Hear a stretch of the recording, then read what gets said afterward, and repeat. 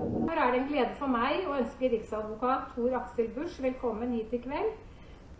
Jeg gleder meg nå til å høre om Grunnloven i framtida. Ordet er ditt, Tor Aksel Busch. Takk skal du ha.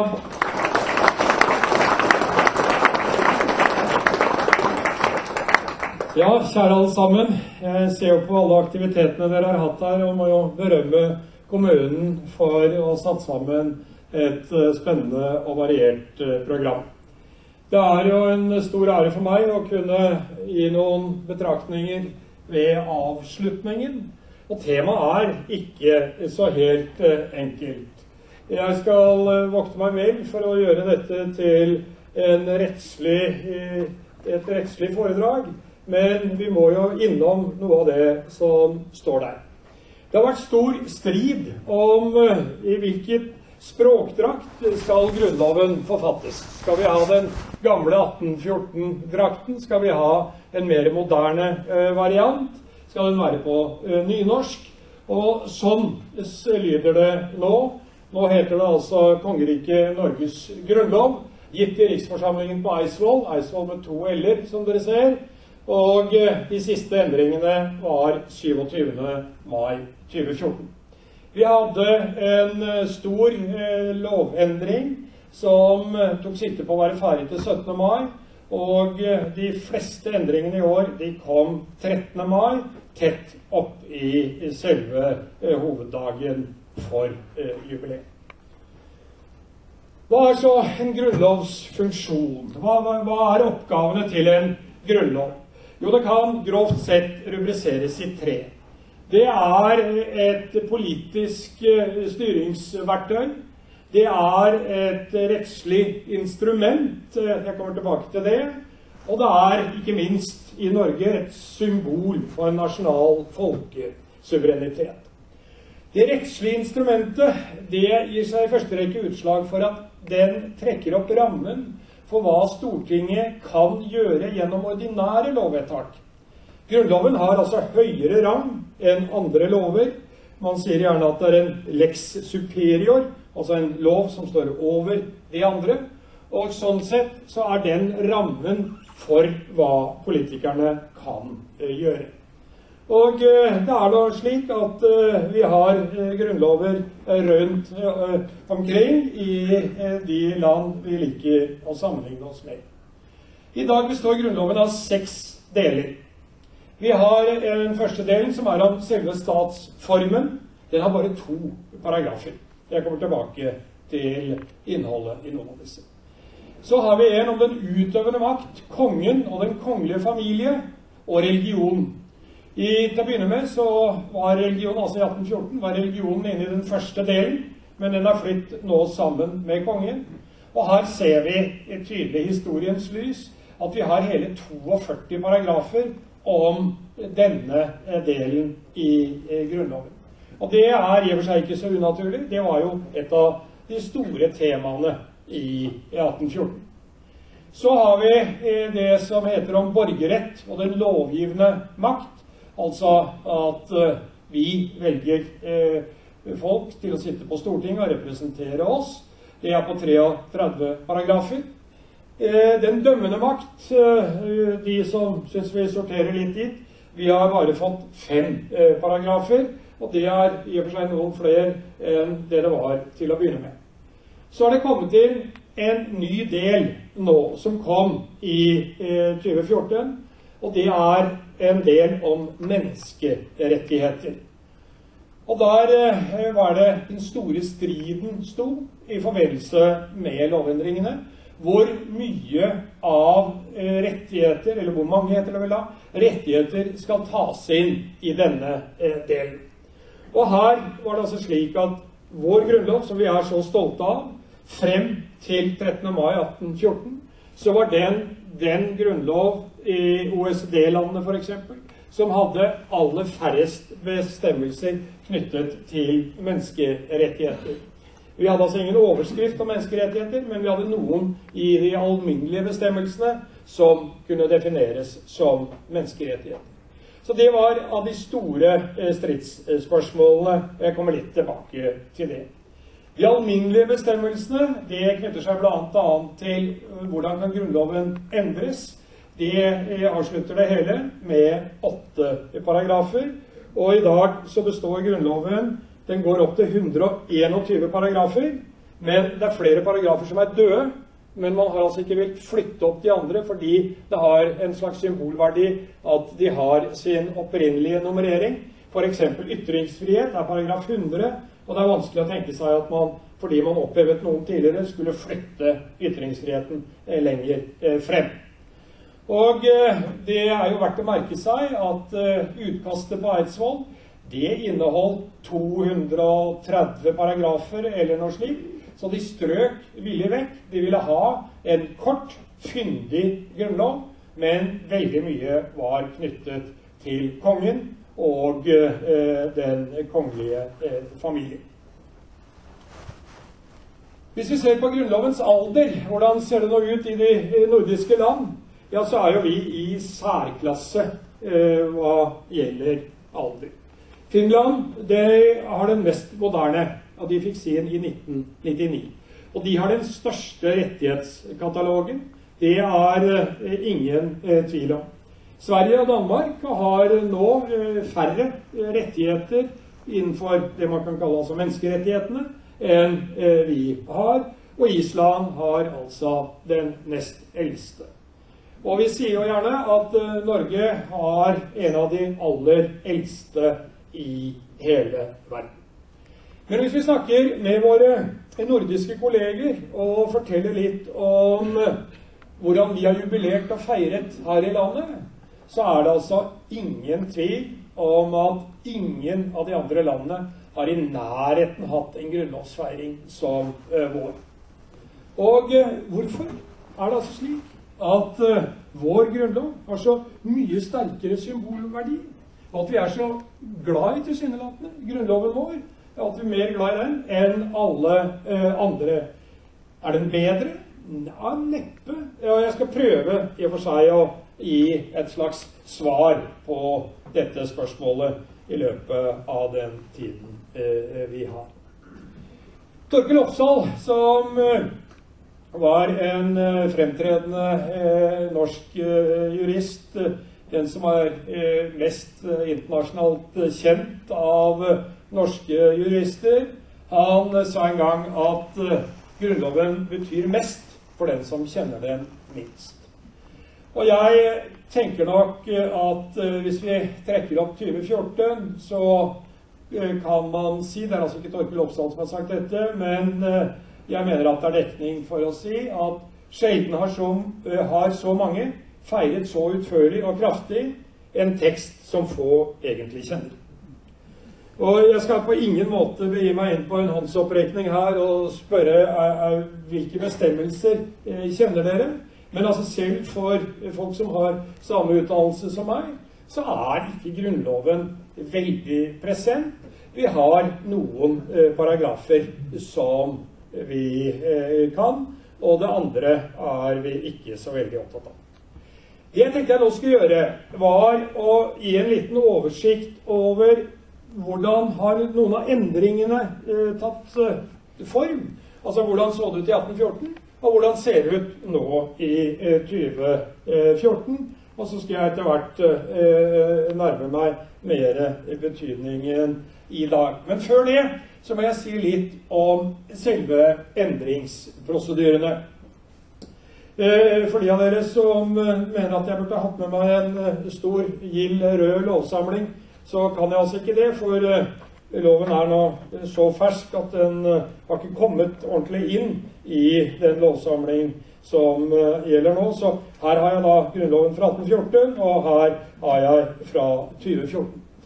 Og i paragraf 121 så er det altså slik at Grunnloven kan bare forandres hvis det har vært et mellomliggende eh, valg mellom eh, forslaget og selve vedtaket. Så, og, og, hvorfor det? Jo, det er altså meningen Det, det er i og for seg nesten det direkte demokrati. Nemlig at grunnlovsendringene skulle bli en del av valgkampen. Slik at vi valgte personer med utgangspunkt i hva forfekter de inn mot foreliggende lovendringer. Og det har på ingen måte slått til.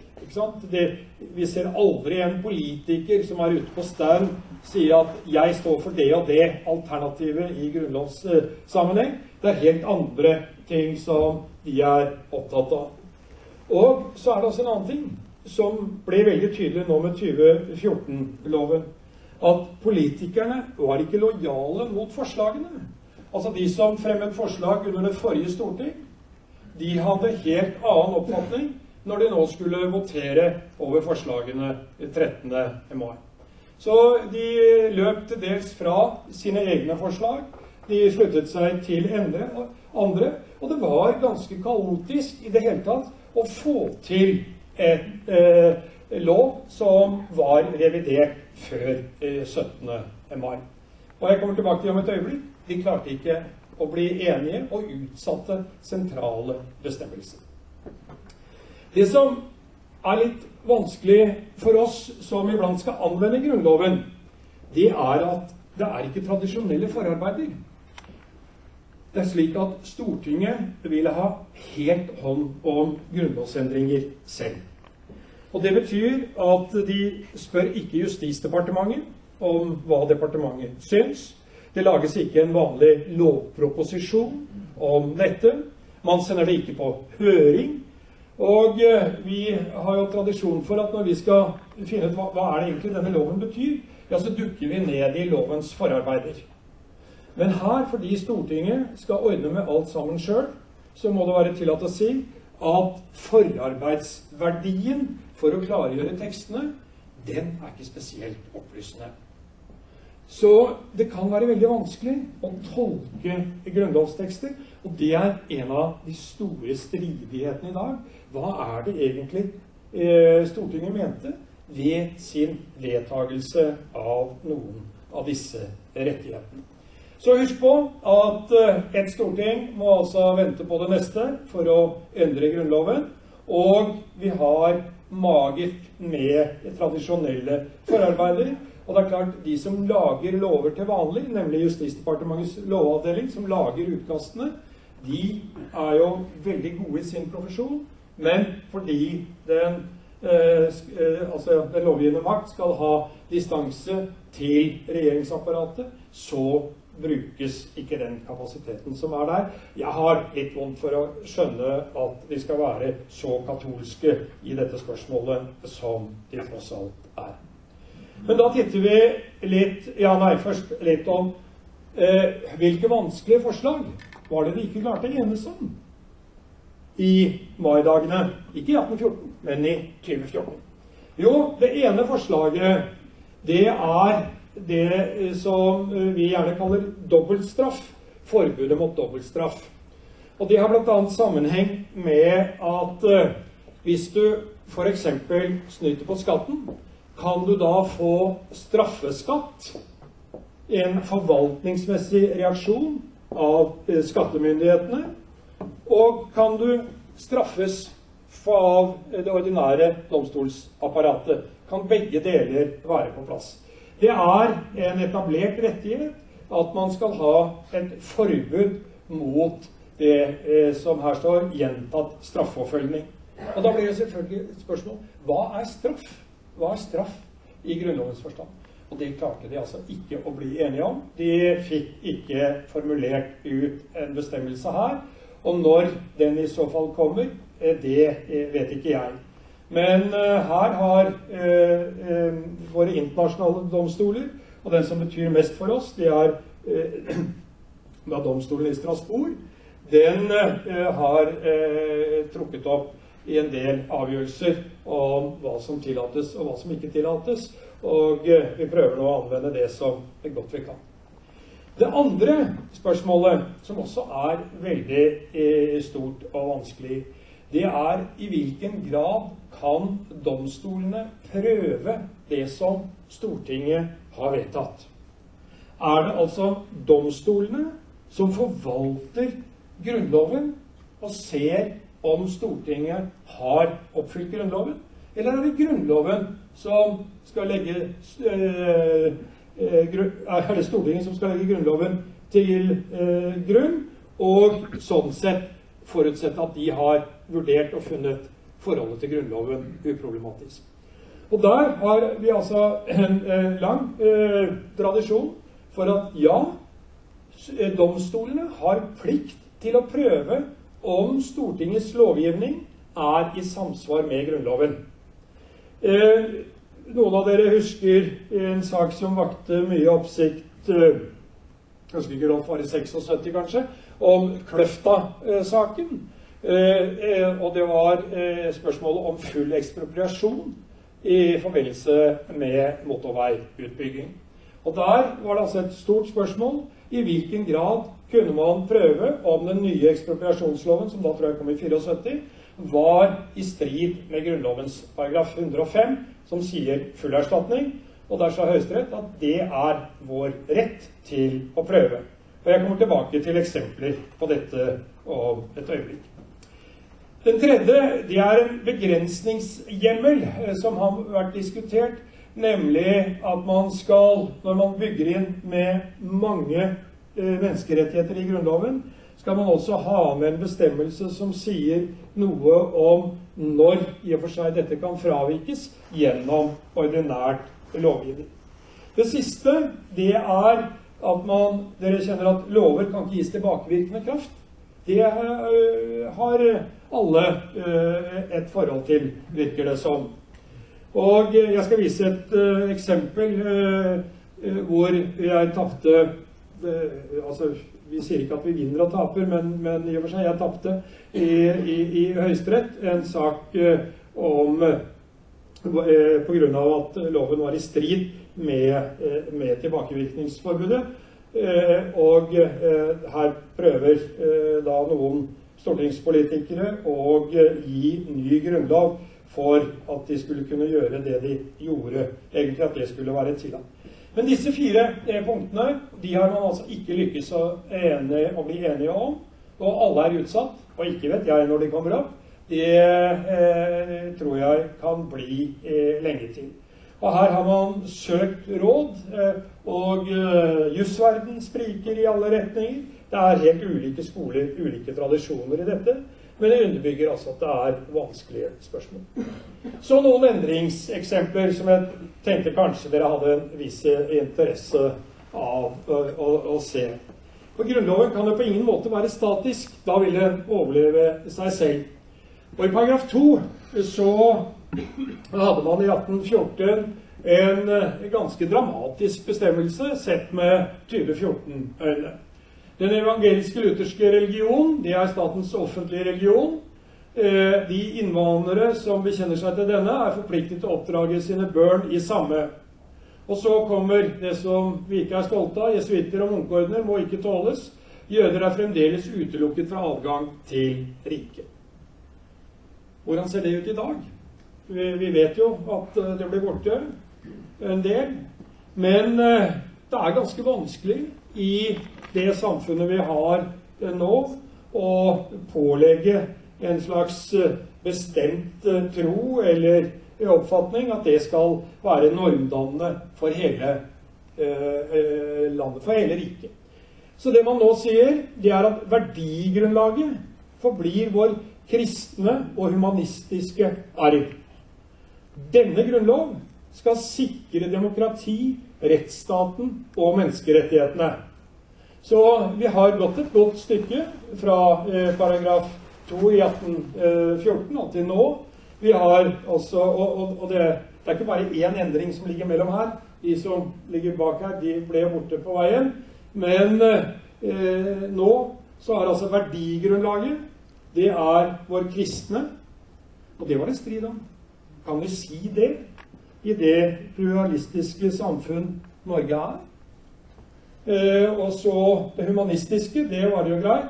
Denne grunnlov, og så er man på demokratiet, rettsstaten og menneskerettighetene. Eh, og som jeg kommer tilbake til når jeg skal se litt på barns rettigheter. En annen endring, det eh, er at med 18 Og her er det blitt litt Paragrafene ikke står akkurat til hverandre, men det spiller i og for seg ikke noen rolle. Det er innholdet. Kongen eh, skal bekjenne seg til den evangeliske lutherske religion, håndheve og beskytte denne. Og det var det strid om nå. Skal kongen fortsatt bekjenne seg til denne? Ikke sant? Legger det noen føringer i noen retning som ikke åpner for det mangfold de tilstreber? Og nå er altså Han skal ikke håndheve og ikke beskytte, men fortsatt skal kongen bekjenne seg til den evangelisk-lutherske religion. Og for Kirken så har dette vært ganske viktige spørsmål. Og eh, partipolitikken her den sprikte i perioder litt i ulike retninger. Eh, paragraf 16 i 1814 da sto det at eh, kongen skulle anordne all offentlig kirke- og gudstjeneste, alle møter og forsamlinger om religionssaker, og påse at religionens offentlige lærere følger dem foreskrevne normer. Her eh, var det altså ingen eh, tvil om hvilket eh, budskap som skulle formidles til den oppvoksende slekt. Men i dag så er altså dette helt annerledes. Alle har rett til fri religionsutøvelse. Den norske kirke den forblir folkekirke og skal understøttes, understøttes som sådan av staten. Men så kommer alle tros- og livssynssamfunn skal understøttes på lik linje. Så dere aner dilemmaene, dere aner til dels skismaene, og dere ser i løsningene. Jeg syns dette i og for seg er eh, klokt løst. Eh, det som jeg tror på eh, sikt Det er jo i og for seg også et spørsmål om hvor lenge kongedømmet vil vare. Jeg skal ikke Eh, spekulere i det. Men det kan jo hende at paragraf 4 blir endret før i og for seg eh, kongedømmet eh, blir borte. Det er jo en ren spekulasjon. Så tar jeg med et eksempel, nemlig at denne loven fylles opp med andre bestemmelser. Og det er paragraf 15. I 1814 så har vi vært innom den allerede nå, for den er da eh, revidert form paragraf 4, så den så vi på i stad. Men der har man nå puttet inn parlamentarismen. Og det var jo et av de store eh, spørsmål i og for seg. I 1814 hadde vi ingen parlamentarisme. Så hadde vi stridighetene på 80-tallet, og som endte med at folkestyret vant og, altså 1880-tallet over eh, kongen. Men det var først i 2007 parlamentarismen som på mange måter i et demokrati kanskje er den aller viktigste bestemmelsen, den kom først inn i Grunnloven i 2007. Og den har altså kommet til uttrykk slik at uh, hvis Stortinget har fattet beslutning om mistillit til vedkommende, enten alene eller til den samlede statsråd, så må vedkommende gå. Kongen er forpliktet til å innvilge eh, søknad. Og eh, så er det et lite tillegg her som jeg ikke tok med, nemlig at de i en overgangsperiode kan eh, jobbe uh, med uh, det som ikke kan vente. Men parlamentarismen, altså den tok det da 125 år eller noe der omkring å få innført i Grunnloven. Og den står nå i paragraf 15. Med det jeg nå har vært innom, så skal jeg eh, reflektere litt over Grunnloven i eh, nåtid. Og jeg skal eh, da eh, se litt om altså, hvordan bruker vi Grunnloven i dag? Har den eh, noen eh, funksjon? Og gi dere noen eksempler på det. På spørsmål om hva skal vi med Grunnloven, så vil nok mange svare noe i retning av at den skal sikre stabilitet i statslivet ved å gi borgerne rettigheter og fastslå grunnleggende regler for statsstyret. Altså det Alle grunnlover har da borgerperspektivet, rettighetsperspektivet og de grunnleggende regler om statsstyret. Og fordi at ikke det skal være overlatt til hvilket som helst flertall å endre dette, ja, så trenger vi en lov med høyere status enn de andre, og som er vanskeligere å endre. Og dette kjenner vi igjen i nesten alle demokratiske land. Så borgerperspektivet og trekke opp fundamentene for oss da i demokratiet, det er eh, det som er det sentrale. Enkelte med sans for spissformuleringer har gitt uttrykk for at det vi har feiret, og fortsatt til dels da feirer i år, er en form for statskupp som mislykkes i sitt hovedformål, men som gjennom Grunnloven fikk innført et system med sterk personlig kongemakt. Det er en realitet. Et lovgivende organ som satt sammen eh, på kongens velvilje, og hvor bare en liten mannlig elite fikk være med og en religionsfrihet med unntak som oser både av rasisme og intoleranse. Men eh, da glemmer man fort at Grunnloven var et produkt av sin tid, og må altså bedømmes som både radikal og fremskrittsvennlig, og det er jeg sikker på at dere har hørt mye om her. Det vi feirer, er at Grunnloven la grunnlaget for utvikling frem mot demokratiske, selvstendige Norge som vi i dag kjenner. Hva var viktigst i 1814? Ja, Det er ikke så lett å si. altså Hvilken paragraf eh, var eh, viktigst, eh, eller hvilke paragrafer. Men eh, jeg tenker nok kanskje at eh, en avgjørende forutsetning ligger i Grunnlovens paragraf 100, hvor det sto i sin tid 'trykkefrihet skal finne sted', og frimodige ytringer om statsstyrelsen og hvilken som helst annen gjenstand skal være tillatt for enhver.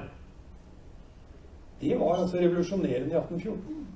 Og det er verdt å merke seg at eh, det fortsatt ikke er noen selvsagt rettighet over store deler av verden. Det er en amerikansk tenketank som heter Freedom House, som har gjort noen undersøkelser av det, og sier at i år er det beregnet at kun 40 av verdens befolkning lever i et fritt uh, politisk system. Så vi må ha med oss noen av eh, perspektivene her. Og eh, Grunnlovens paragraf 100 vil man altså ikke kunne finne på langt nær alle steder, og vi har hatt den siden 1814. Jeg eh, vil gjerne minne om en forutsetning for selvstendigheten og grunnlovsverket i 1814 som har vært mindre påaktet. Eh, og det er det eh, lille historiske tilbakeblikket. Og ikke minst fordi min gode venn og historiker Ulf Torhaug er her, så må jeg nesten gå innom det. For det er han som har forfektet i stor grad dette til meg. Utgangspunktet enevelde Danmark-Norge ja, fra 1660. Men eneveldet ble etablert ved at folkesuverenitet ble overført til kongen. Altså, Eneveldet oppsto ikke av seg sjøl. Man flytter folkets makt, nær sagt, suvereniteten, til kongen. Og hvis man dykker dypt ned i dette, så ser man at etableringsdokumentene for eneveldet uttrykker dette ganske presis. Og da er det selvfølgelig slik Selvfølgelig, kanskje ikke, men ved en slik overføring, en kontraktsmodell, så er det i og for seg logisk at suvereniteten kan gå tilbake til den som har avgitt den, ikke til andre. Delegasjon, altså gi den videre, er ikke noen nærliggende tanke.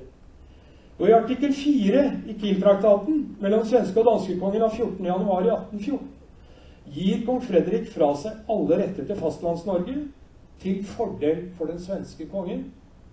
Til kongen, ikke født til Sverige. Og i den tredje setningen i artikkel 4 løser kong Fredrik alle norske innbyggere fra hyrings- og troskapsevnen til kongen og den danske krone. Så altså han gir det han hadde fått, eller hans forgjenger hadde fått av folket, til svensken.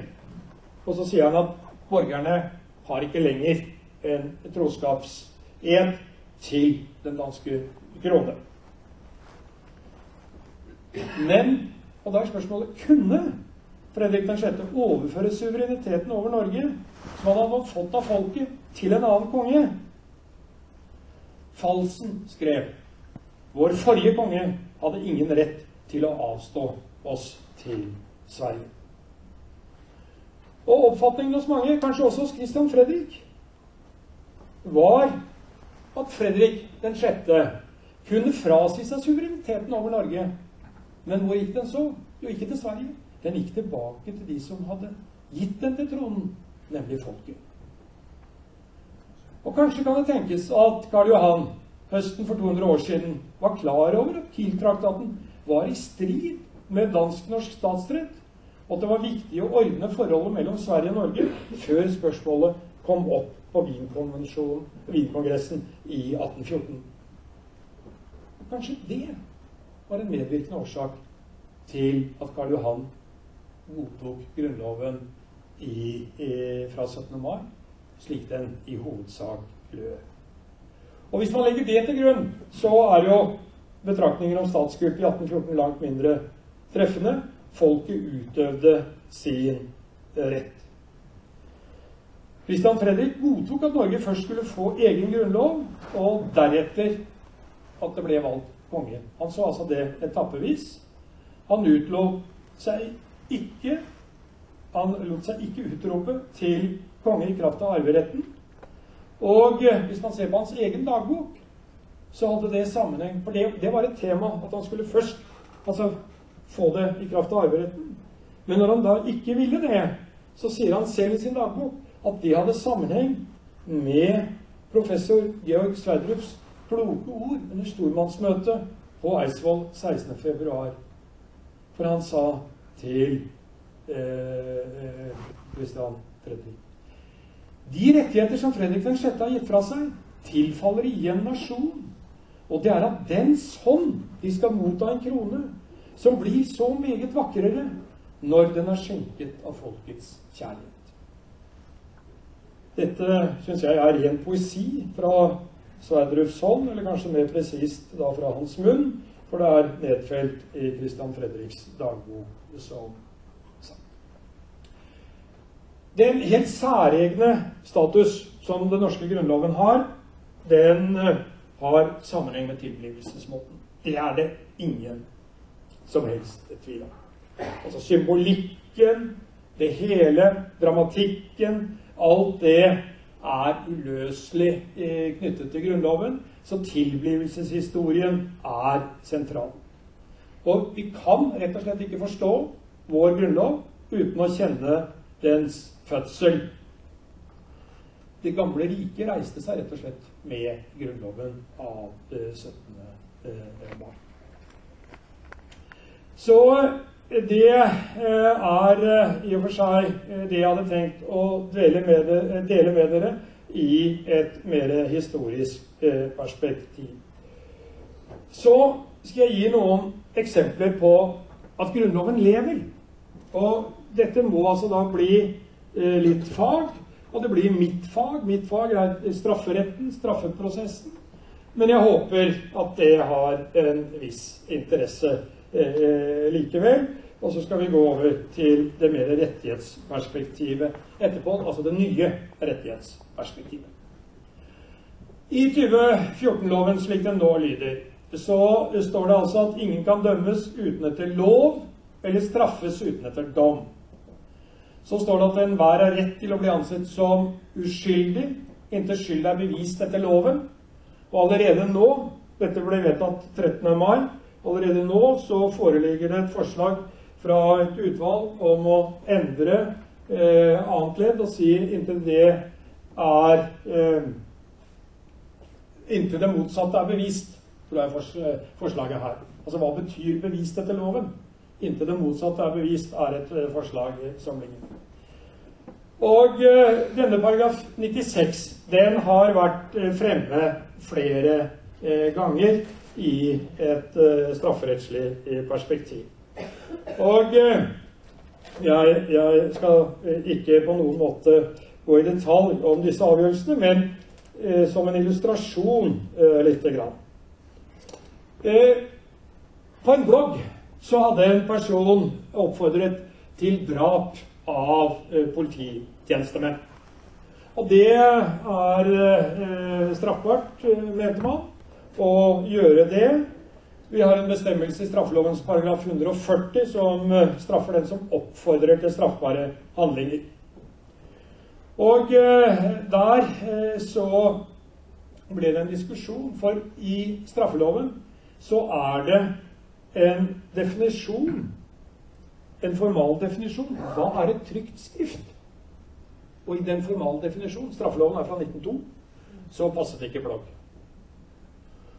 Og da Og alle var enige. Høyesterett sa at dette er straffverdig.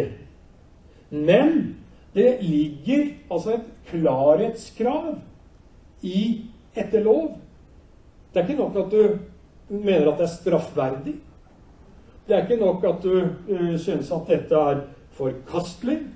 Det er ikke nok at hvis lovgiver hadde visst om blokk, uh, blogger, så ville han tatt det med.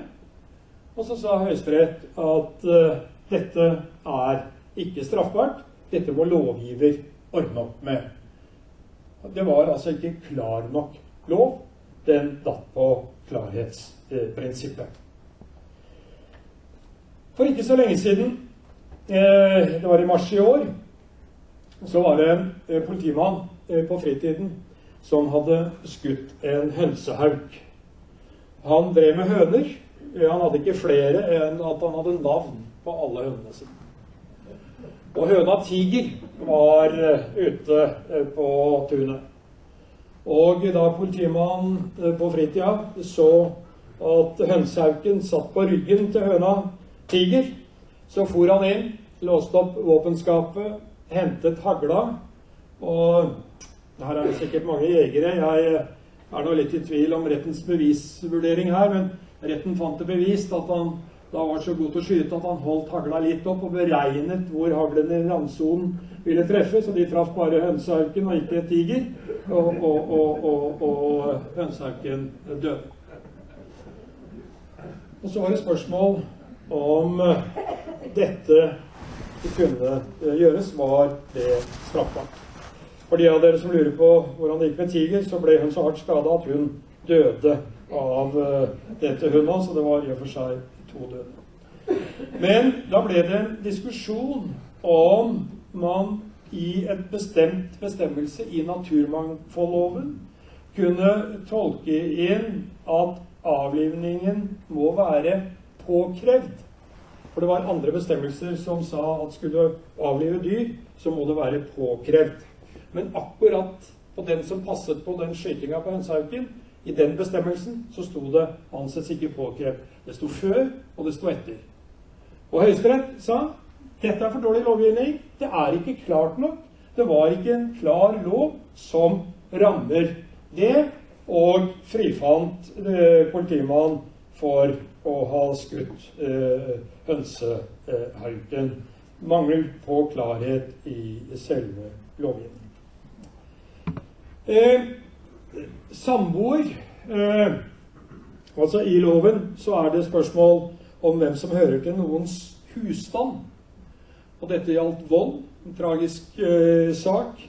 Og eh, spørsmålet om en tidligere eh, samboer Eh, som altså ikke var samboer da vold ble begått, kunne falle inn under denne bestemmelsen. Og da sa Høyesterett nei, det var ikke klart nok. En tidligere samboer kunne ikke falle inn under.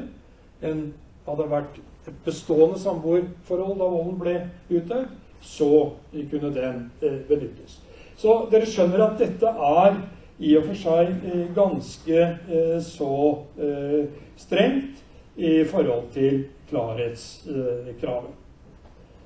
Så er det også noen spørsmål om hva ligger i å straffes. Kan du gi da andre reaksjoner? Og en eh, lakseoppdrettsforetak de fikk et såkalt overtredelsesgebyr av forvaltningen etter akvakulturloven. Og eh, de sa at det var i strid med at eh, det skal være etter dom. De fikk to millioner i gebyr. Det var altså ikke en reaksjon fra politi, påtalemyndigheten, men en reaksjon fra fiskeriforvaltningen. Og da sa Høyesterett at det må eh, kunne godtas, selv om det da ikke var ved, eh, ved dom. Så denne bestemmelsen, den lever altså i aller, aller høyeste grad. Så er det da neste bestemmelse Ingen lov må gis tilbakevirkende kraft. Og det er jo det, det er veldig viktig i et demokrati. Altså at Du kan ikke bestemme at ting du misliker, og si at det er uh, forbudt, og gi det uh, virkning bakover. Og Det så man veldig tydelig i 1814, og uh, paragraf 97 er tilnærmet helt identisk. har altså ikke undergått noen endringer i, eh, i, eh, på Torgård.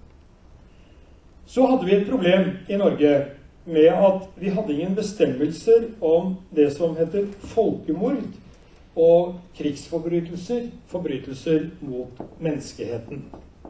Og i vårt internasjonale regelverk så er det bestemmelser om dette. Og flere internasjonale organer, som FN og andre, sa at Hvorfor i all verden har ikke dere en bestemmelse om folkemord? Og vi svarte at ja, men vi har bestemmelser om drap. Vi, vi, vi klarer oss med det. Men vi fikk påpakning fra eh, internasjonale organer om at det var for dårlig. Og Stortinget ga en lov om eh, krigsforbrytelser, forbrytelser mot menneskeheten, og eh, sa at denne skal gis anvendelse på alle forhold, også de som er begått før denne lov trådte i kraft, forutsatt at det som var begått før, var straffbart etter andre bestemmelser. Og så skulle man ikke gi strengere straff enn det man ville fått etter de bestemmelsene som gjaldt da det ble begått. Hang dere med på det? Ikke sant? At uh, loven den skulle ta med seg handlinger som lå forut i tid, forutsatt at de handlingene var straffbare, og du skulle ikke få strengere straff, men det kunne nå da bedømmes som folkemord, krigsforbrytelser, forbrytelser mot menneskeheten. Og så hadde vi uh, en sak knyttet uh, til,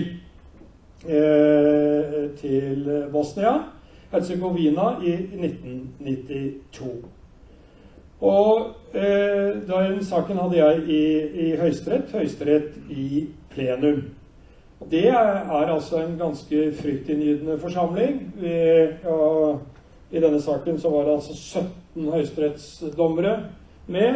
Og de sitter eh, rundt, og du skal prøve å overbevise dem om ditt syn. Og mitt syn var altså at den lovgivningen som Stortinget hadde vedtatt, vel vitende om Grunnlovens paragraf 97. Og de hadde gjort alle vurderinger og sa at dette passerer i forhold til Grunnlovens paragraf 97. Det er ikke i strid med det, sa Stortinget. Og det sa altså regjeringen som hadde fremmet denne lovproposisjonen. Og jeg forfektet da det synet at uh, dette var lovlig. Stortinget hadde selv vurdert og mente det var passabelt. Og der kom elleve av de eh, høyesterettsdommerne til at nei, det var i strid med Grunnlovens paragraf 97. Så det kunne ikke dømmes. Den loven kunne bare gis anvendelse på forhold som var begått etter at loven trådte i kraft, selv om loven sa uttrykkelig at den skulle gjelde bakover. Så altså et sterkt eh, vern, sa flertallet. Seks av dommerne var enige med meg at dette måtte gå. Og det er den avgjørelsen som har falt Stortinget tomt for brystet når de lurer på om de skal gi et tillegg. Det var et av de bestemmelsene de ikke klarte å om. Å gi et tillegg her som skulle åpne for en eh, slik eh, mulighet. Om det blir noe av eller ei, det vet jeg ikke, men her aner man i og for seg en liten maktkamp mellom Stortinget og, eh, og eh, Høyesterett. Så det er altså ingen tvil om at vi møter Grunnloven i ulike sammenhenger, særlig i eh, strafferetten. Og det er jo da eh, ganske eh, utfordrende i eh, vår eh, virksomhet.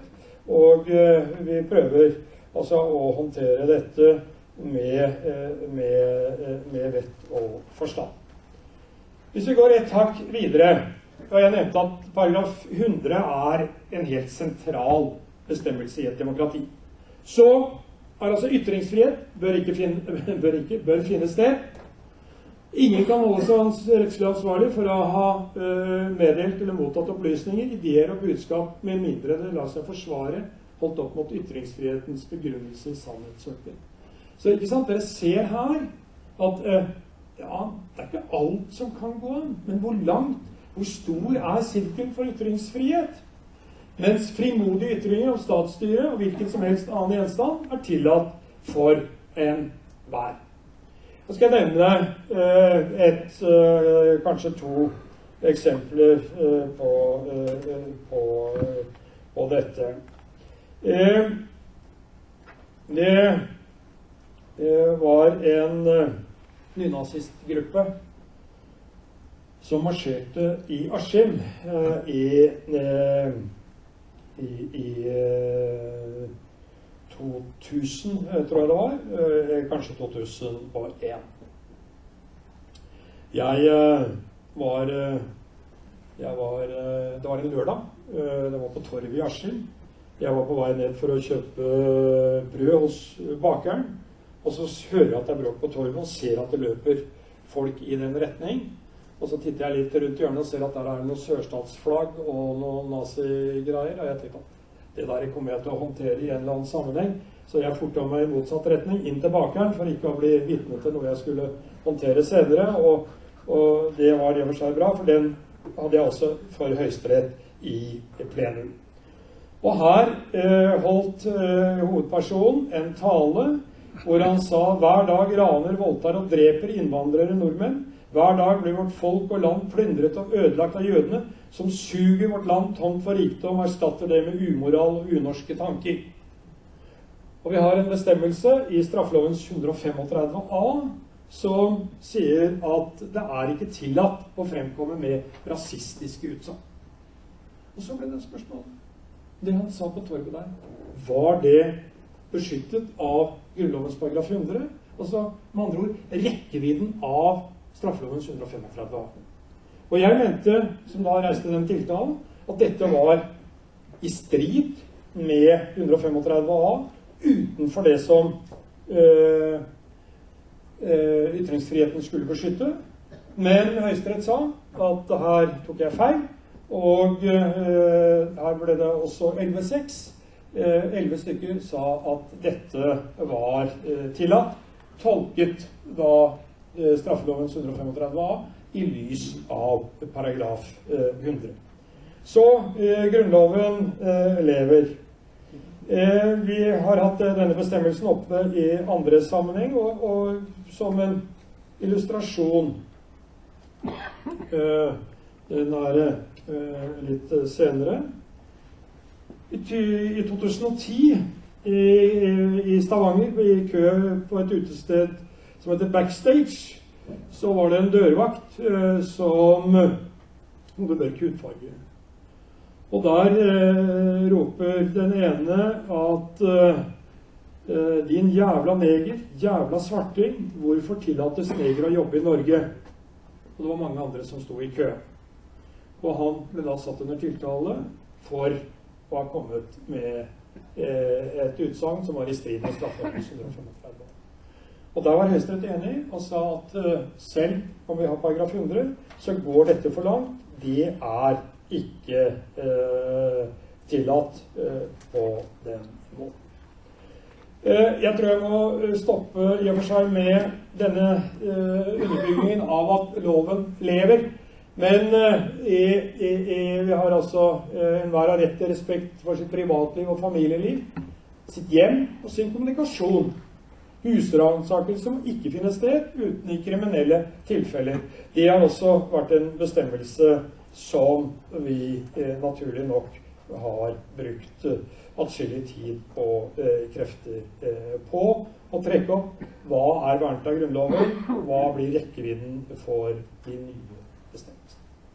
Men så litt over til eh, det som var i og for seg kontroversene rundt selve lovgivningen. Hva eh, skal tas med? Og Jeg nevnte at eh, Grunnloven slik den lød før i år, var altså av den som var eh, skrinnest når det gjelder rettigheter i, selve loven. Og eh, Stortinget nedsatte et utvalg for å gå gjennom og se hva bør komme med i moderniseringsdelen. Og da er det i og for seg noen helt uh, vanlige veier inn i den uh, form for debatt. Det er de tradisjonelle uh, menneskerettighetene. Og der er altså situasjonen den at jeg sa at Grunnloven sto over de andre lovene. Men så har vi i og for seg noe som ligger mellom Grunnloven og de andre lovene. Og det er en eh, lov som kom i 99, som heter menneskerettsloven. Lov om styrking av menneskerettighetenes stilling i norsk rett.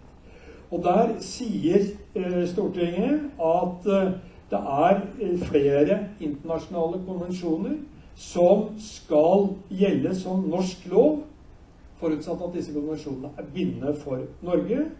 Og så sier de at hvis det er motstrid mellom alminnelig norsk lov og disse konvensjonene, så går konvensjonene foran. Så da ligger de altså et hakk over. De skal øh, øh, ligge over ved, ved, ved motstrid ved, ved, ja, ved motstrid.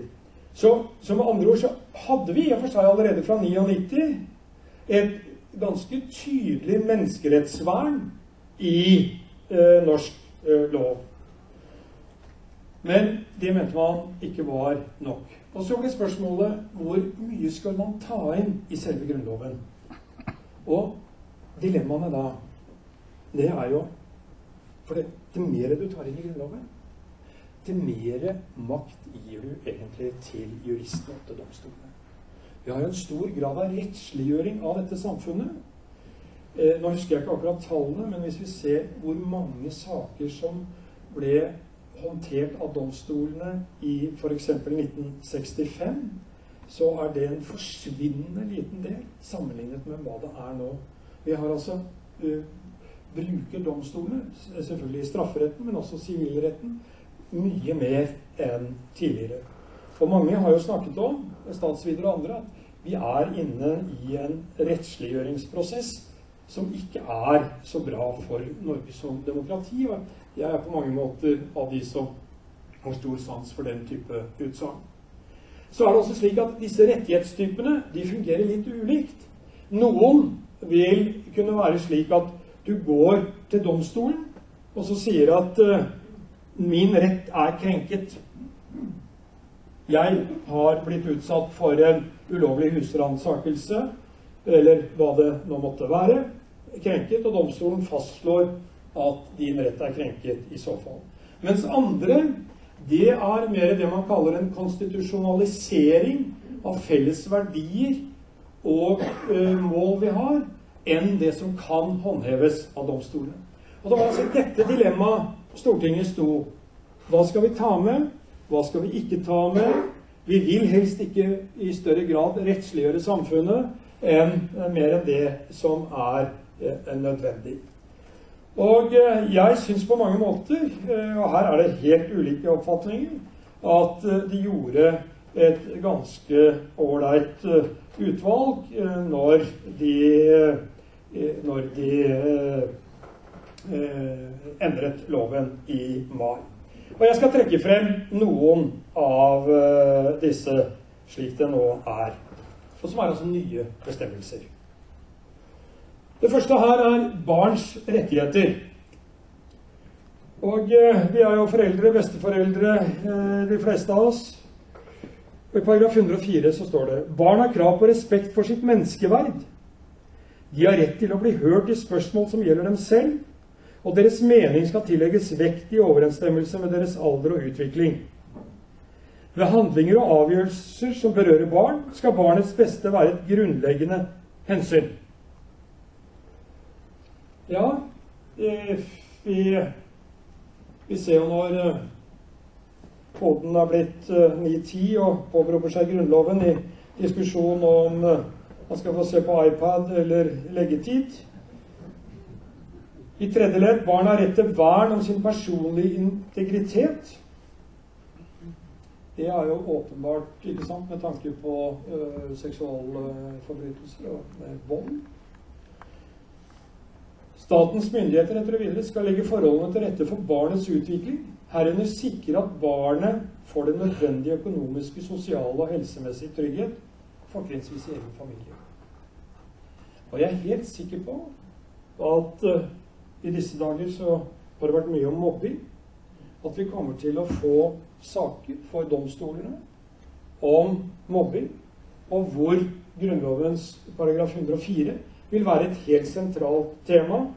Det er at statens myndigheter har ikke latt det til rette for barnets utvikling.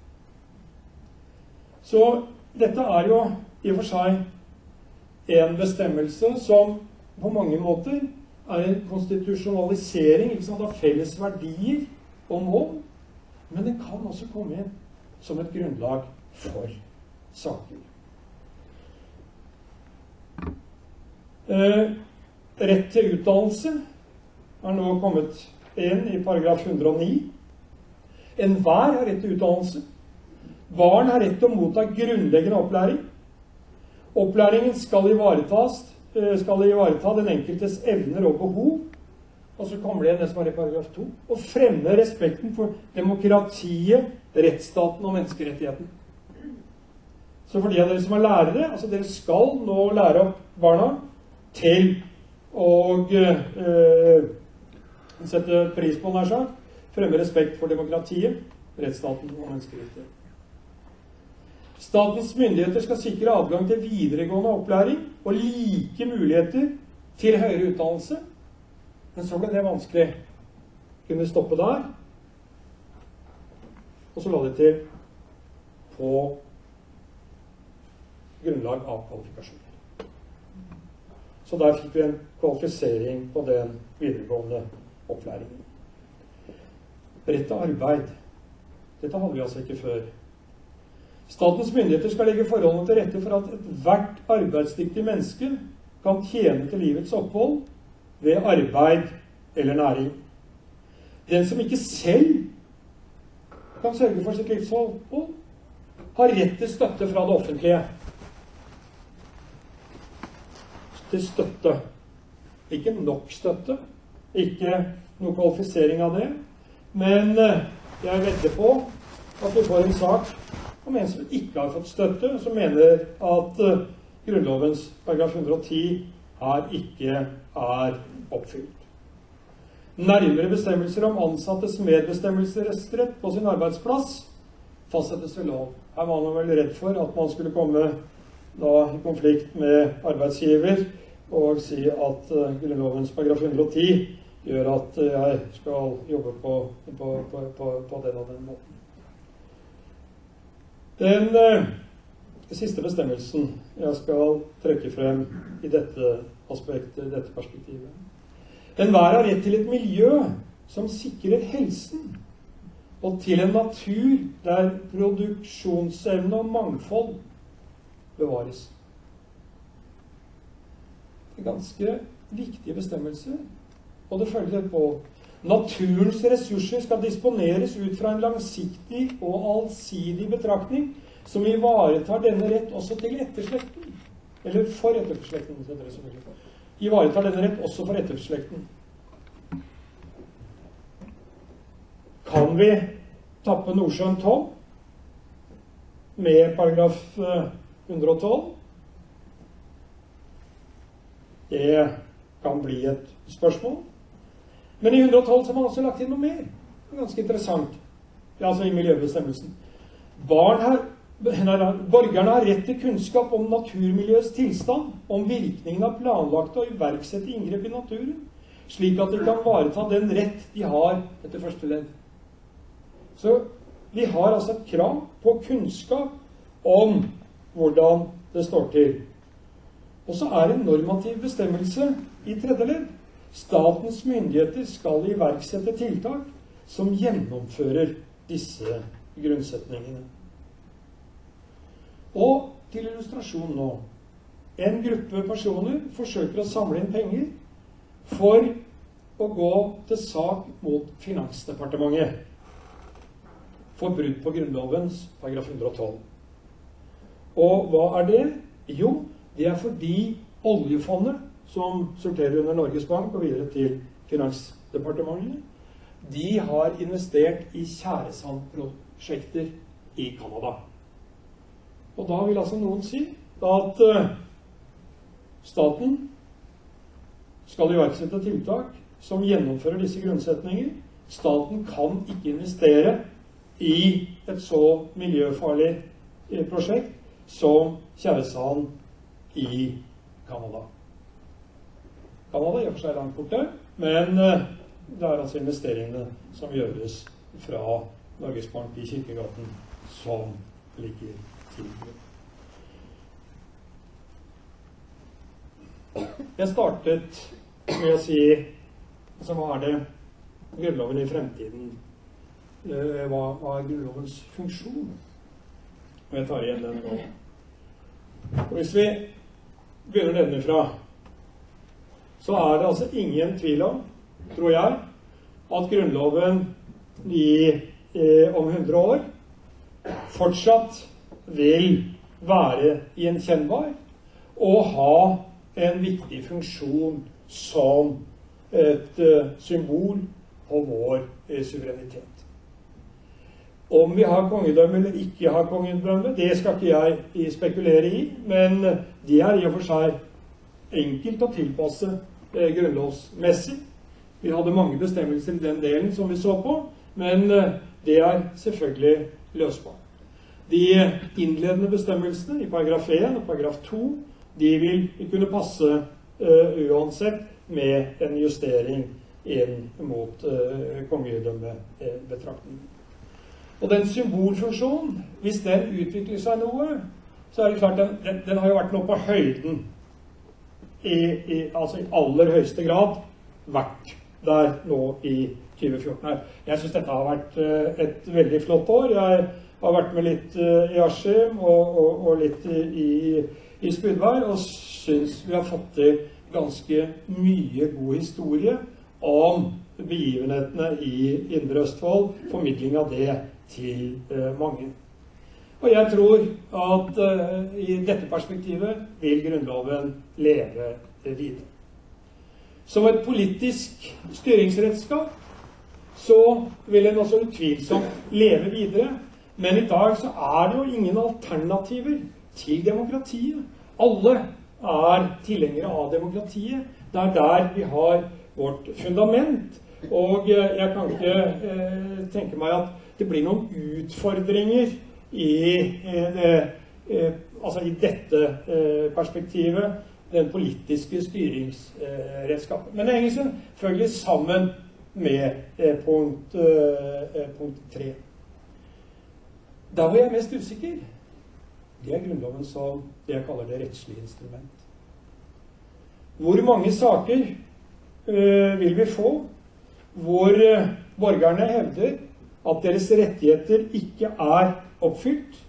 Hvor mange øh, saker vil vi få? Altså, og de fleste sakene vi har hatt, det er jo at Stortinget i og for seg har uh, med sin lov krenket Grunnloven. De har ikke uh, gitt balansert det godt nok. Eller vi som anvender den lov Stortinget vedtar, altså ikke Grunnloven, vi har da ikke utvist et tilstrekkelig godt skjønn gitt Grunnlovens ramme. Vi tolker den loven for vidt. Og her mener jeg at selve rettighetsperspektivet, altså hvor mange rettigheter tar du inn, det vil være av helt avgjørende betydning. Hvis vi tar inn alt det vi har i våre internasjonale forpliktelser Vi snakker om Den europeiske menneskerettskonvensjon. Vi snakker om sivile og politiske rettigheter, som er en FN-konvensjon. De er altså på et veldig eh, detaljeringsnivå. Og du vil alltid kunne i og for seg nesten finne eh, momenter som taler i din favør, hvis du ikke har fått noe, ikke har eh, eller har hatt en eller annen negativ opplevelse. Og jeg tenker nok som så at vi skal være forsiktige med å ta inn så veldig mange flere rettigheter i Grunnloven slik det er i dag. De rettighetene som er der, gjør at den er et levende instrument. Jeg syns det er en ganske forstandig eh, utvelgelse som er gjort så langt. Og går vi lenger, så tror jeg at vi bidrar til en unødvendig rettsliggjøring av spørsmål som bør høre hjemme et helt annet sted. Som andre ord så syns jeg altså at eh, det var en ganske klok avveining som ble gjort ved den store grunnlovsjusteringen i mai i år. Andre eh, vil utvilsomt bedømme eh, det annerledes. Men det som er vårt problem nå, det er at en del av de bestemmelsene som han førte inn, de har altså helt De, de har ingen forarbeider de forteller oss ikke hva det betyr. Så vi må prøve oss frem, og prøve oss frem hva eh, dette eh, egentlig eh, vil bety i, praksis. Og her, i en kronikk i Aftenposten i forrige uke, en professor i jus. Våre folkevalgte har neppe skjønt innholdet i alle grunnlovsendringene de vedtok våren 214, som kan gi rettslig uklarhet i mange år fremover under overskriften 'Grunnlovsfarsen'. Han sier her politikk er altfor alvorlig til å bli overlatt til jurister, men er grunnlovsendringer for alvorlig til å bli overlatt til politikere, sier hun har spissformulert. Og jeg stiller meg tilbake denne eh, skarpe formen, men at hun har et, i og for seg et poeng. At eh, det er en stor grad av uklarheter i rettighetskatalogen, hvor langt den går og at det kommer til å gi grunnlag for ganske mange domstolsavgjørelser i tiden fremover. Men innfører vi flere rettigheter, så vil man bare forsterke den utviklingen. Så det var i grunnen eh, det jeg hadde tenkt å dele med dere. Jeg mener at Grunnloven lever i beste velgående, og min prognose det er at den også vil gjøre det ved 300-årsjubileet. Jeg tenkte jeg skulle uh, slutte uh, med noen setninger fra Edvard Hoems uh, prolog til grunnlovsjubileet. Det lyder slik. Mye er ennå uferdig, mye er ennå ugjort. Verden er kommet til oss, og vi er hjemme i verden. Takk for oppmerksomheten.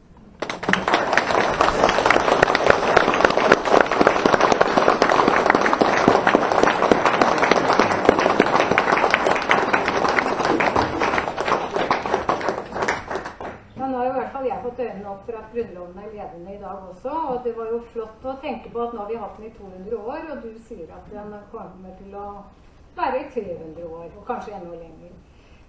Eh, vi startet eh, disse eh, Forum 1814 med en fra Spudberg, Per Christian Spudberg. I dag har vi hatt en fra Askim, men du er ikke fra Spydberg over? Jo. Det ja, det var det jeg trodde. At du kanskje hadde hatt noen sko i Spydberg òg. Ja. ja. Så dette her var jo bare helt fantastisk. En fin avslutning på, på Forum 1814. Eh, det, eh, Bush har eh, sagt at han gjerne kan svare på spørsmål, så hvis det er noen som vil utdype noe mer, eller har noe de har lyst til å Jeg har eh, to spørsmål. Eh, ene spørsmålet er de nye lovene og endringene som kom i, i lovverket. Er de publisert ut sånn at man kan finne dem og lese dem? Ja, de tror jeg finnes på Stortingets hjemmeside. I hvert fall finnes de på Lovdata. Hvis du søker på Lovdata, så er de eh, lett uh, tilgjengelige der. Og finnes altså i heltekst, hele Grunnloven. Men Men eh, jeg reklamerer veldig for en liten, fin trykksak som jeg syns i for seg alle borgere burde ha. Eh, ser nesten ut som en syvende sans. Her er Grunnloven i sin opprinnelige form, håndskrevet. Og så er det da med mai-endringen. Så jeg syns dere burde ha en sånn i lomma. Den får du på Stortinget. Og spør spørsmål to. Eh, jeg la merke til paragraf 96, tredje avsnitt.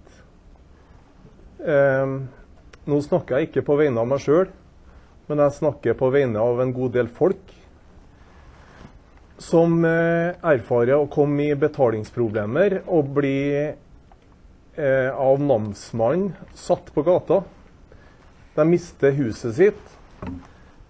Eh, Dette har skjedd eh, flere plasser, som jeg vet om. Og de som har kommet i den situasjonen, de har ikke gjort noe ulovlig. Og da stiller jeg spørsmål hvilken lov er det som tilsier det at de kan sette folk på gata? Fordi den 96, tredje avsnitt, sier jo det motsatte. Ja, og det er en del bestemmelser her som eh, må eh, tolkes eh, i eh, lys av hele sin eh, kontekst. Og det er altså en egen lov om innfordring, egen lov om uh, tvangsfullbyrdelse av sivile krav. Det er noe som du har krav på å få beholde, men helt riktig som du sier, i verste fall så kan du reelt sett bli satt uh, på gata. Og hvis du da bare ser snevert på 96 tredjedeler, så vil du kunne si hva er det egentlig korrelasjon mellom den og, og, og disse rettighetene. Men det, så langt jeg vet, så har altså ikke det vært oppe i et grunnlovsperspektiv. Og jeg er nok ganske sikker på at de innfordringsreglene vi har, selv om de er stramme, så vil de stå seg mot, mot denne bestemmelsen. Du dømmes i og for seg ikke til å avstå fast eiendom eller samlet formue, men du har altså skyld, og du må bruke det du har for å dekke skylden din. I gamle dager så hadde man jo noe som het gjeldsfengsel. Det er uttrykkelig forbudt etter Grunnloven nå. Du vil altså ikke kunne sette noen i fengsel med mindre vedkommende har begått en straffbar handling. Så det er kommet uttrykkelig inn i, i, i, i loven nå. Og Det er kanskje interesse her at i de alminnelige bestemmelsene så står det i paragraf 107 odels- og åsetesretten må ikke oppheves. Den er altså grunnlovsvernet, uh, så den ligger der. Andre spørsmål? Da håper jeg på å si, Er det ikke det de driver med nå? Jo, men de må da gjennom grunnlovsendringer, så det er ikke så lett som de kanskje, kanskje tror. Det er altså en helt klar setning som har stått her hele tiden. Odels- og åsetesretten må ikke oppheves. Så står det også i paragraf 108, men det er jo ikke så aktuelt, ingen grevskaper, baronier, stamhus eller fideikomisser må for ettertiden opprettes. Så vi skal ikke ha noe adel her i landet. Men når det gjelder endringer av Grunnloven, det blir ikke riktig så lett som du sa. Det er ikke nok med bare at må settes fram et stort storting. Må settes for det første forslaget må gis i de to første åra. Det er riktig. Og det er ikke nok å simpelthen Det er, det er også riktig. To tredjedels flertall er nødvendig for uh, grunnlovsendringer. Så det må være et uh, kvalifisert uh, flertall etter paragraf 121. Det er jo et annet forhold òg. Det er at vi underkaster oss da lovforslag som kommer fra Brussel. Det står noe i en paragraf om at Norge vil være et udelelig rike. Og det skal altså da ikke eh, bli etter suverenitet. Jeg husker ikke riktig ordlyden. Det er, er Ja, ja. Ja. Eh, Det ble jo vurdert eh, i sin tid, og eh, man eh, mente at eh, med vedtak fra Stortinget så var det passabel. Paragraf 1. Kongeriket Norge er fritt, selvstendig, udelig og uavhendelig rike. Den, eh, dets regjeringsform er innskrenket og arvelig monarkisk. Så det er allerede i første bestemmelse. Og så kan man sikkert være uenig i, i, i, i det grunnlaget, og sikkert kunne finne jurister som også var uenig i det, men den dominerende oppfatning var at Grunnlovens paragraf 1 ikke ville være et hindring for medlemskap i EU. Det annet vi har hatt eh, diskusjoner om, det er Grunnlovens skranker for å delta i, i utenlandske eh, kriger. Det er altså bestemmelser under kongens makt her. Hva, hvor langt kan man gå i å delta der? Der har det også vært en viss grad av både politisk og juridisk uenighet. Den Korfu-avtalen fra 1994, hvor Gro Harlem Brundtland og Jonas Gahr Støre skrev under på, eh, ble den ratifisert? Det vet jeg ikke. Det kan jeg ikke svare på. Og det er jo et offentlig dokument. Men det er ingen som har fått tilgang til den? Nei, og det, det, Jeg vet ikke om det er noen andre som kan eh, hjelpe til her. Det, det kan ikke jeg svare på. Vet ikke. Ja, er det da noen flere som brenner inne med noe? Jeg har et lite spørsmål. Jeg vet ikke om du har mulighet for å svare på det. Men jeg la merke til For at jeg bestilte meg Jeg har mista fødselsattesten min, så jeg bestilte ny. Og da sto det på det, den attesten, da, det er en attest i klartekst, at det var et verdidokument. Hva betyr det? Nei, det kan jeg ikke svare på. Fødselsattester er ikke innenfor mitt kjerneområde, dessverre. Det er jo litt merkelig. Ja. Jeg er vel for at du skal passe på den og ikke miste den en gang til. Jeg vet jo ikke at eh, fødselsattesten har den største verdien for meg som enkeltperson. Vil nok tro at det ligger noe mer dypere, dypere enn som så. Nei, det, er, det er mye som har verdier. Jeg hørte i dag på jobben at uh, parker, handikap-parkeringsbevis uh, uh, i i Stockholm. De omsettes nå for 25 000 kroner. Ja. Eh, ikke sant? En økonomisk verdi, eh, tross alt. På, på, det illegale markedet, som dere skjønte. Men eh, det er åpenbart dyrt å parkere i Stockholm. Ja. Det var en hånd bak deg òg. Ole Marius, vær så god.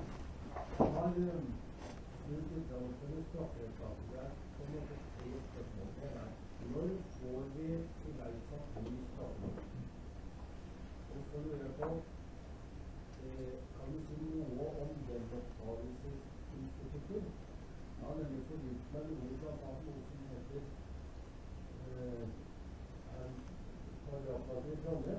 som har vært prøvd gjenopptatt, og hvor det også vært henvendelse til Stortinget. Men det er at for meg virker det som om den Eh,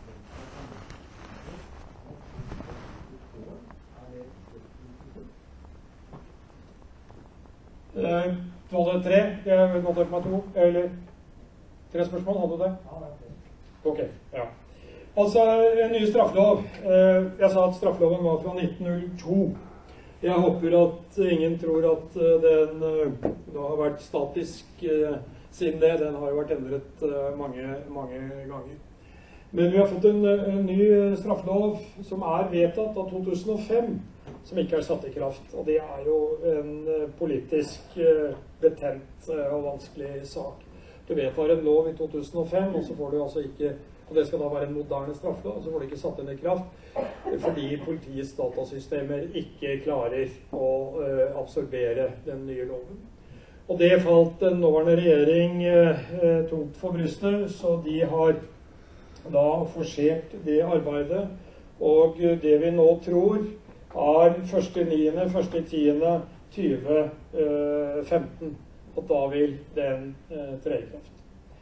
Selve gjenopptakelsesinstituttet, det, det er altså sånn at rettskraftige avgjørelser de kan under visse betingelser Nå snakker jeg om strafferett. Straffesaker tas opp igjen da på nærmere angitte vilkår eh, særlig nye opplysninger. Og det er selvfølgelig for å eh, rette opp en eventuell urett. Og vi har fått noe i Norge som eh, jeg var med å foreslå etter inspirasjon fra England. En gjenopptagelseskommisjon. Og det betyr at alle saker om, som altså er rettskraftige, og hvor man sier at dette her er det begått en urett, det og det vitnet ble ikke hørt, eller det og det vitnet har endret forklaring, hva det måtte være, så må man rette en henvendelse til den kommisjonen. Består av fem medlemmer. Og hvis de sier ja, denne saken skal gjenåpnes, så begynner vi på nytt igjen i retten. Eller så sier vi at uh, vi har ikke noe sak, alle vitner er døde, det er ikke noe mer å gjøre. Vi ber retten avsi frifinnelsesdom uten at det har vært noen forhandlinger. Eller vi kan fremme saken og si at ja, denne vil vi kjøre på nytt igjen. Men det ligger altså at seeing, eh, mekanismen for å si ja og nei, det er gjenopptakelseskommisjonen, som er, eh, er en selvstendig enhet som ikke kan instrueres. Og vi kan ikke eh, sette i gang en gjenopptakelsessak uten at kommisjonen har sagt ja. Det er klart jeg kan begjære øh, gjenåpning øh, og gjør det iblant. Øh, men ikke sjelden så vil det være at en person som er dømt som tilregnelig, etterpå viser seg å være eh, sinnssyk, ikke tilregnelig, og skulle altså ikke ha hatt straff. Så vi begjærer gjenåpning i en god del eh, saker. Og så er det en god del saker hvor vi ikke begjærer gjenåpning, selv om man prøver og mener at vi skal gjøre det. Torgersen-saken er jo en eh, klassisk eksempel i så måte, hvor gjenopptakelseskommisjonen har sagt nei, det er ikke grunnlag for gjenåpning. Og nå er det altså et voldsomt press mot meg at jeg skal begjære gjenåpning, for da mener man at kommisjonen vil si ja til gjenåpning. Uh, riksrett, uh, det, det, består. Men jeg fikk nok ikke helt tak i premissene for, for riksrett. For riksrett, det er altså Det skal bare brukes mot statsrådets medlemmer, uh, eller Stortingets medlemmer, hvis de har begått en embetsforsømmelse. De, de, de skal altså kjøre de i fylla, eller hva det måtte være, så er det det alminnelige strafferettsapparatet.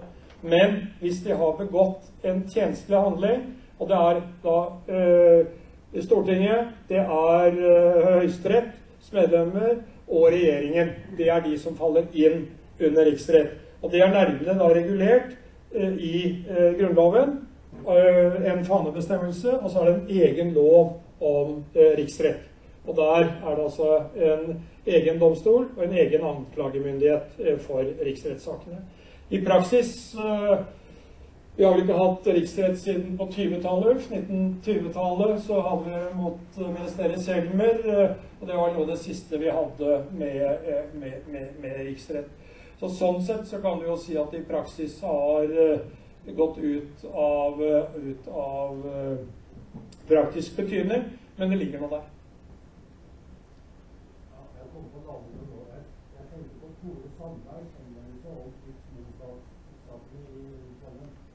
Ja. Ja det, ja, det var imponerende godt husket. Der anmeldte han For den gangen så var det ikke dette gjenopptakelsesinstituttet. Så da var det domstolene som skulle vurdere om det var grunnlag for ny sak. Og da kom Høyesterett til at det ikke var grunnlag for ny sak. I, en gang så kom de til det. Det ble jo senere en gjenåpning, men den gangen kom de til det. Og Tore Sandberg ville anmelde de to høyesterettsdommerne for eh, forsømmelser, altså av riksrett. Og det ble behandlet, og Stortinget eh, traff vedtak om at det ikke var grunnlag for å gå videre med saken. Så den, den er altså uh, i og for seg parkert og utkvittert på eh, formell måte.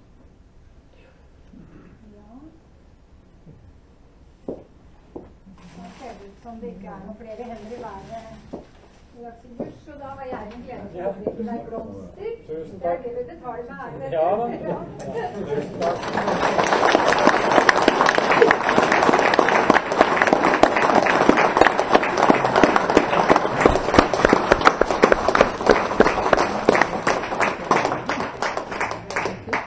Av sikkerhet er Grunnlovens kjerne. Den må vi stå vakt om i, et, i lokalsamfunn.